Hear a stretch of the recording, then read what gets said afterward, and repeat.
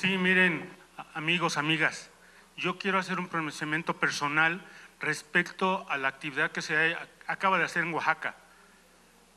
En sentido negativo, se dice que se acaba de aprobar un crimen, pero en, en sentido negativo. Y en sentido positivo, yo puedo decir que se acaba de defender un derecho. ¿Cuál derecho?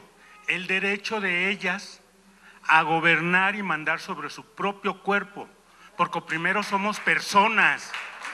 Antes de que me exijan usar guaraches, tenis, zapatos o zapatillas, soy una persona. Antes de que me exijan tener el pelo corto, pintármelo, etcétera, soy una persona. Antes de que me exijan usar uniforme con pantalón o con falda, soy una persona. Y se acaba de reconocer el hecho de la persona.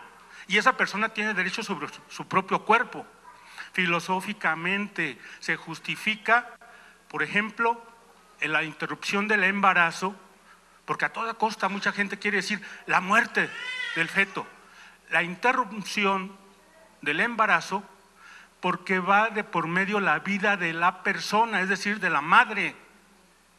Entonces yo reconozco en ese sentido filosófico y jurídico y de derecho natural que la vida es primero y después los derechos secundarios. En este caso, ¿cuál es primero? ¿La mamá o el hijo? Pues claro, obviamente que primero ella. Y reconocer un derecho de ese tipo es muy alto, es muy grande. Y es propio de derechos humanos lanzar un aplauso, un pronunciamiento con esa avanzada legislativa. Es cuanto.